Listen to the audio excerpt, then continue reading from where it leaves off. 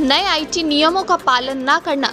Twitter को भारी पड़ गया है। जानकारी मिली है कि भारत में अब ट्विटर ने कानूनी सुरक्षा का आधार गवा दिया है। ट्विटर की ओर से 25 मई से लागू हुए आईटी नियमों का अनुपालन अब तक नहीं किया गया, जिसके बाद उसके खिलाफ यह एक्शन लिया गया है। यानी ट्विटर पर भी अब आईपीसी के तहत मामले दर्ज हो सकेंगे और पुलिस पूछताछ भी कर सकेगी।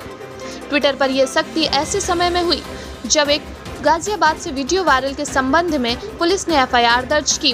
माना जा रहा है कि अब इस मामले को लेकर ट्विटर पर कानूनी एक्शन लिया जा सकता है।